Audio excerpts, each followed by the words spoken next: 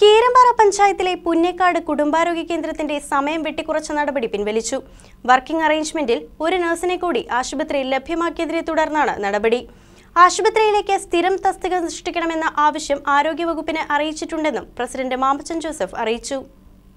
നഴ്സുമാരുൾപ്പെടെയുള്ള ജീവനക്കാരുടെ അഭാവം മൂലമാണ് പുന്നേക്കാട് കുടുംബാരോഗ്യ കേന്ദ്രത്തിൽ ഒ പി സേവനം നാല് മണിവരെയായി വെട്ടിച്ചുരുക്കിയത്. ഒ പി സേവനം ആറു മണിവരെയായി വർദ്ധിപ്പിക്കുന്നതിനുള്ള ഇടപെടലാണ് ഇപ്പോൾ ആരോഗ്യവകുപ്പിൽ നിന്നും ഉണ്ടായിരിക്കുന്നത്. വർക്കിംഗ് അറേഞ്ച്മെന്റിൽ മറ്റ് ആശുപത്രികളിൽ നിന്ന് ഒരു നേഴ്സിനെ ഇവിടേക്ക് നിയോഗിച്ച് ഡി എം ഒയിൽ നിന്ന് തീരുമാനമുണ്ടായി.